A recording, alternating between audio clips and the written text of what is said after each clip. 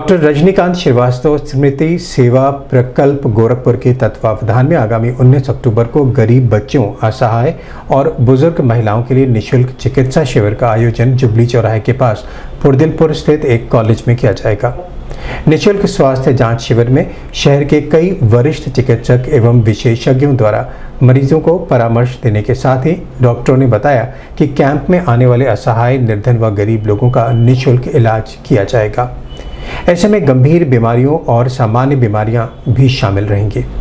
इस दौरान पत्रकार वार्ता में समिति के सदस्य डॉक्टर विनोद कुमार श्रीवास्तव, प्रोफेसर हर्ष कुमार सिन्हा सहित अन्य सहयोगी मौजूद रहे।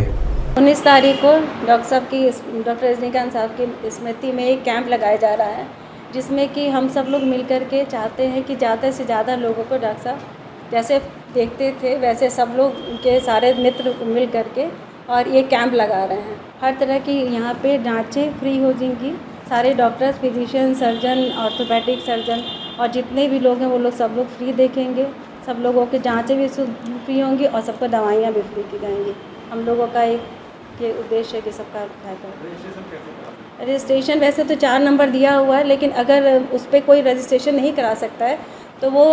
आर्टिस्ट पार्ट आए रजनीकांत क्लिनिक पे, वहाँ पे उन लोगों का आठ बजे से रजिस्ट्रेशन की सुविधा शुरू हो जाएगी और हम लोग मैक्सिमम सोचेंगे कि सब लोगों को एक देखा जा सके, कोई ऐसा लौटे ना बिना देखा हुआ